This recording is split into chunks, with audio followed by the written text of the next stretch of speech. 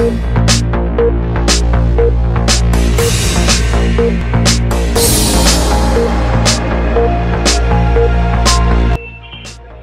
ऐसा कोई औपचारिक आदेश नहीं है। जी जी। किंतु जन समस्या को देखते हुए। हमने एसडीएम सदर को जी जी। श्री अमित भट्ट जी को एक मिलकर वार्ता की कि अभी त्योहार का सीज़न भी चल रहा है। जी। दरी मंडी का भी सीज़न चल रहा है। बहुत वाहनों की अधिकता हो जा रही है भीड़ भाड़ में और मोटरसाइकिल तक को बाज़ार में जाने का अनुमति नहीं है। जी। ऐसे में दुकानदारों को बहुत परेशानी होने वाली उनके अपने वाहन और जो माल लेने आते हैं वो वाहन। जी जी। जब सड़क पे अ, इस तरह विचित्र तरीके से खड़े रहते हैं तो जाम की व्यवस्था जाम लगता है और लोगों को असुविधा होती है।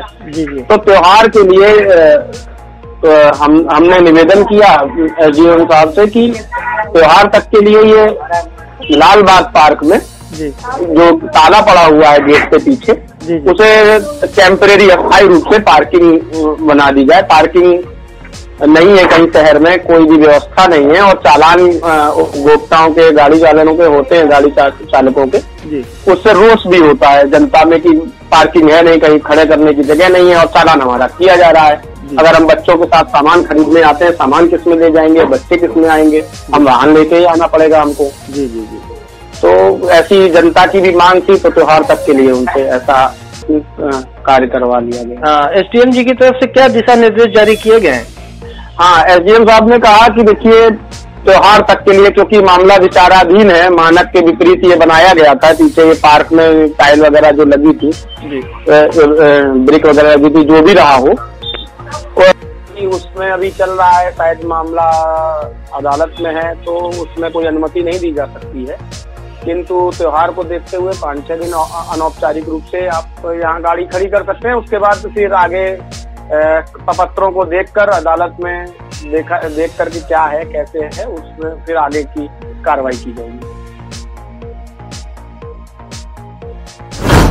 में इसको लेकर आए दिन जाम लगा है इसके लिए सर क्या प्रशासन पार्किंग की वैकल्पिक व्यवस्था देखी जा रही है। अभी चूँकि दीपावली के दृष्टिगत यहाँ लाल बाग पार्क का कुछ लोगों द्वारा बताया गया कि यहाँ पर गाड़ियाँ जो है खड़ी हो सकती हैं। ईओ साहब के द्वारा बताया गया कि यहाँ कोई वाद विचाराधीन है।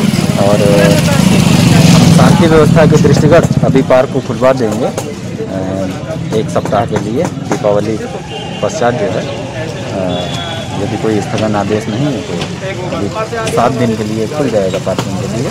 फिर उसके बाद साफ़ सफ़ाई भी यहाँ पर कराई जाएगी ईओ साहब के माध्यम से, और समस्याओं का निस्तारण जो है उसी क्रम में किया जाएगा। हम लोग साफ़ सफ़ाई देख रहे थे, और यहाँ पे जितने भी कूड़ादान वहाँ पर है। उसको देख रहे थे और नालों पर जो अतिक्रमण है उसको भी देखा गया है। और साथ ही पार्किंग स्थल जो है, उसके उसके निर्माण को पूर्ण करने और उसे खुलवाने का और उसके उपयोग की बात है। तो इसमें एक वाद चल रहा है, वो पत्रौली देखकर जैसा भी होगा निर्णय किया जाएगा।